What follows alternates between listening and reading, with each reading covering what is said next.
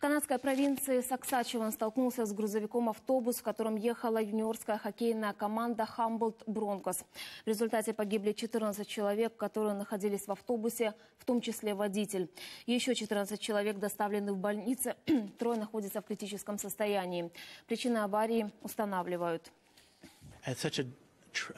Мы пережили сегодня ужасную ночь. Родственники погибших, их друзья и близкие не захотели оставаться в одиночестве дома. Они пришли сюда, чтобы быть всем вместе и вместе пережить трагедию, поговорить друг с другом, поплакать.